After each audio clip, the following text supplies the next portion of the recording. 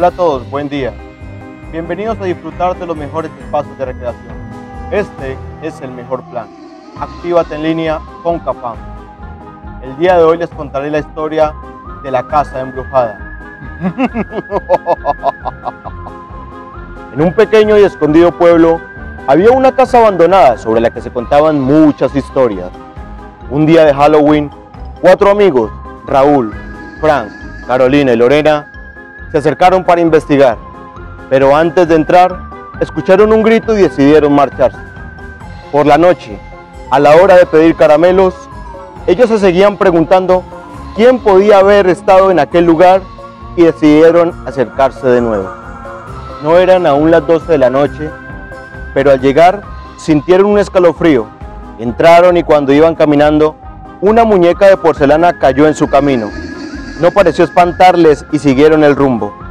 Encontraron dos sillas frente a una chimenea, donde había una vela y una caja de música, que de la nada se abrió y empezó a sonar.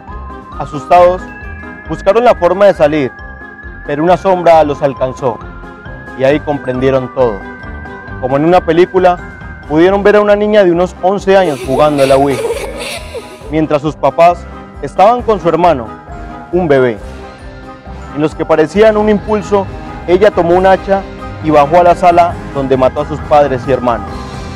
Los cuatro niños comprendieron que la niña sentía celos por el robo de atención y decidió vengarse.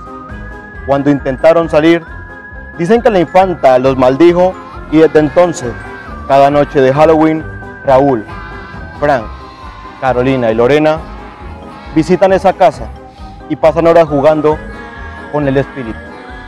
Ingresa a www.cafam.com.co y encuentra las mejores actividades para disfrutar con tu familia desde casa. Espero que sigan conectados a nuestras redes sociales.